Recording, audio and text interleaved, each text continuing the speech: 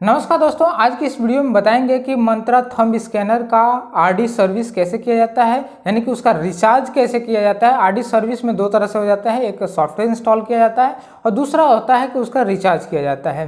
तो आज की इस वीडियो में बताएँगे कि रिचार्ज कैसे किया जाता है, उसका क्या प्रोसेस है। अब आपके दिमाग में यह आता होगा कि मंत्रा का रिचार्ज कहाँ करना पड़ता है, लेकिन आपको बता दें कि मंत्रा का भी रिचार्ज किया जाता है, लेकिन जब भी भी फ़र्स्ट टाइम खरीदते हैं तो वहाँ पर क्या होता है कि कोई मंत्रा अगर खरीदते हैं तो एक साल के लिए आरडी सर्विस पहले से ही उसमें इंक्लूड की गई होती है या फिर वो कोई दो साल के लिए होती है, कोई पाँच साल के लिए होती है। तो इस तरह से मंत्रा आरडी सर्विस उसमें पहले से जब खरीदते हैं तो उसमें इंक्लूड होता है। जब वो खत्म होता है तो हमें रिचार्ज करने की ज़रूरत पड़ती है। और यहाँ पे जब भी भी मंत्रा को रिचार्ज करेंगे, यानी कि मंत्रा थंब स्कैनर को रिचार्ज करेंगे तो सिर्फ़ वन ईयर का ही रिचार्ज यहाँ पे कर पाएँगे, क्योंकि इसके अलावा और कोई ऑप्शन नहीं दिया गया है। सिर्फ़ वन ईयर का ही दिया गया है। तो चलिए उसका प्रोसेस बताते हैं आगे बढ़ने से। पहले दोस्तों, अभी तक हमारे चैनल को सब्सक्राइब नहीं किया है तो सब्सक्राइब करें। और वीडियो अच्छी लगे तो लाइक ज़रूर करें।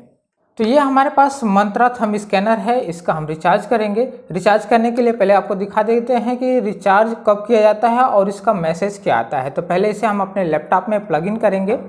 प्लग इन करते ही आपके डिस्प्ले पे इस तरह का एक मैसेज आएगा। कॉर्नर पे आएगा। देखिए डिवाइस अटैच प्लीज़ वेट अब यहाँ पे देखिए, यहाँ पे लिख रहा है error 1001 your RD subscription is expired please contact Servico और कुछ नंबर दिया हुआ है, उसके आगे लिखा हुआ है प्रेस वन फॉर सपोर्ट उसके नीचे साइट दी गई है। साइट पे जाकर आप डायरेक्ट वहाँ से रिचार्ज कर सकते हैं, या फिर वो साइट अगर नहीं टाइप कर पा रहे हैं तो गूगल में टाइप करेंगे मंत्रा आरडी सर्विस उसके बाद आगे रिचार्ज लिख देंगे तो डायरेक्ट साइट आपके सामने आ जाएगी। जो पहला लिंक है, आप देख सकते हैं Servico dot Mantra tech app dot com इस लिंक पे क्लिक करेंगे इस लिंक पे क्लिक करने के बाद यहाँ पे नीचे देख सकते हैं, दो ऑप्शन दिया हुआ है, पेमेंट ऑप्शन का। इसमें एक है आरडी सर्विस और दूसरा है आरएमए तो हम सेलेक्ट करेंगे आरडी सर्विस को। आरडी सर्विस सेलेक्ट करने के बाद यहाँ पे फॉर्म आ जाएगा फॉर्म को फिलअप करना होगा। और यहाँ पे पहले क्या करना होगा कि पहले तो हमें सीरियल नंबर को यहाँ पे ऐड करना होगा। ऐड करने के बाद ही हम कोई बाकी डिटेल्स भरेंगे। तो पहले हम अपने मंत्रा डिवाइस का सीरियल नंबर ऐड करते हैं। ऐड पे क्लिक करने के बाद यहाँ पे ऐड सीरियल नंबर का बॉक्स आ जाएगा। यहाँ पे दिया हुआ है कि कहाँ पे सीरियल नंबर मिलेगा। आपको यहाँ पे दिखा दें।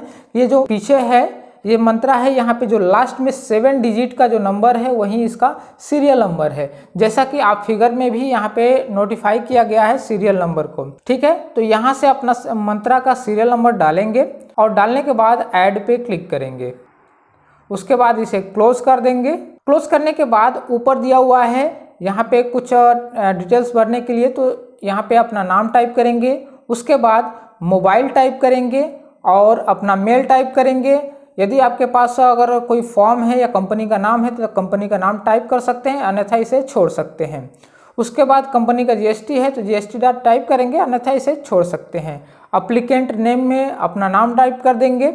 उसके बाद नीचे दो ऑप्शन दिया गया है। For one year RD subscription उसके आगे पैसा लिखा हुआ है कितना रुपया लगेगा। वन ईयर के लिए सौ रुपया लगेगा प्लस उसमें 18 परसेंट जीएसटी भी ऐड होगी।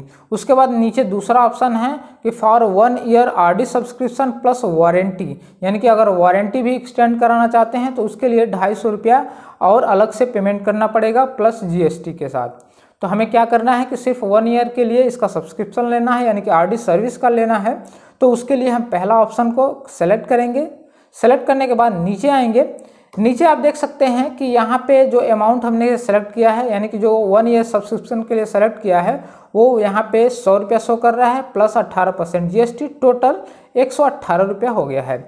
उसके बाद यहाँ पे देख सकते हैं कंट्री दिया हुआ है कंट्री ऑलरेडी सेलेक्टेड है। उसके बाद यहाँ पे अपना स्टेट सेलेक्ट करेंगे। उसके बाद जिस सिटी में रहते हैं, उस सिटी का नाम यहाँ पे सेलेक्ट करेंगे। सेलेक्ट करने के बाद यहाँ पे पोस्टल एड्रेस में अपना एड्रेस भर देंगे कि जब कहाँ पे आपका पोस्टिंग एड्रेस है, उसके बाद पे फॉर किस लिए ये पेमेंट कर रहे हैं और रिमार्क में कुछ लिख देंगे हम क्यों इसे रिचार्ज कर रहे हैं। उसके बाद नीचे दिया हुआ है पिन कोड अपना पिन कोड टाइप करेंगे, उसके बाद पे नाउ पे क्लिक करेंगे। पे नाउ पे क्लिक करेंगे तो यहाँ पे टर्म एंड कंडीशन आएगा, यहाँ पे एक्सेप्ट करेंगे। एक्सेप्ट करने के बाद यहाँ पे चूज़ पेमेंट ऑप्शन आ जाएगा कि किस मेथड से आप इसे पेमेंट करना चाहते हैं। डेबिट कार्ड क्रेडिट कार्ड उसके बाद wallet net banking UPI payment उसके बाद पेटीएम बहुत सारा ऑप्शन है। जिस ऑप्शन पे, जिस ऑप्शन से आप पेमेंट करना चाहते हैं, उससे आप पेमेंट कर सकते हैं। तो हम पेटीएम से पेमेंट करेंगे तो पेटीएम पे क्लिक करके इसका हम पेमेंट कर लेंगे। दोस्तों, यहाँ पे हम पेमेंट कर चुके हैं। उसके बाद अगर इसका रिसिप्ट देना है या रखना है तो डाउनलोड रिसिप्ट पे क्लिक करेंगे। ये आपका रिसिप्ट आ जाएगा। इसे रख भी सकते हैं। उसके बाद अब चेक करेंगे मंत्रा में जो भी एरर आ रहा था, वो फिर आ रहा है कि नहीं आ रहा है। तो उसको अब फिर से दोबारा अपने लैपटॉप में इसे प्लग इन करेंगे। ये पहले से लगा हुआ है तो इसको हम रिमूव करके फिर से ऐड करते हैं। यानी कि इसे प्लग इन करते हैं। यहाँ पे देख सकते हैं तो हम यहाँ पे डिवाइस को अटैच कर दिए। उसके बाद यहाँ पे मैसेज आ गया है कि you have successfully converted device into Aadhaar registration device यहाँ पे मैसेज आ चुका है, यानी कि जो हमारा पहले एरर आ रहा था रिचार्ज करने के लिए, वो एरर अब खत्म हो चुका है क्योंकि हमने रिचार्ज पूरी तरीके से कर लिया है। तो इन स्टेप को फॉलो करके आप मंत्रा का आरडी सर्विस का रिचार्ज कर सकते हैं। दोस्तों, यह वीडियो आपको कैसा लगा हमें ज़रूर बताइएगा और वीडियो अच्छी लगे तो लाइक ज़रूर करिएगा।